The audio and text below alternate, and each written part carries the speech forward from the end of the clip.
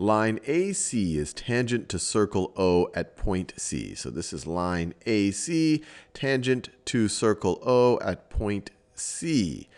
What is the length of segment AC? What is this distance right over here between point A and point C? And I encourage you now to pause this video and try this out on your own.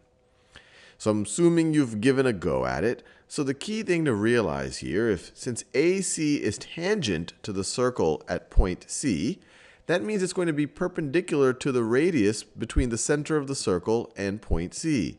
So this right over here is a right right angle. And the reason why that is useful is now we know that triangle AOC is a right triangle. So we could use, if we know two of its sides, we could use the Pythagorean theorem to figure out the third. Now we clearly know OC. Now OA, we don't know the entire side. They only give us that AB is equal to 2. But the thing that might jump out at your in your mind is OB is a radius. OB is a radius. It's going to be the same length as any radius. So this is going to be 3 as well. It's the distance between the center of the circle and a point on the circle, just like the distance between O and C. So this is going to be 3 as well. And so now we are able to figure out that the hypotenuse of this triangle has length 5. And so we need to figure out what side the, the length of segment AC is. So let's just call that, I don't know, I'll call that, I will call that x. x.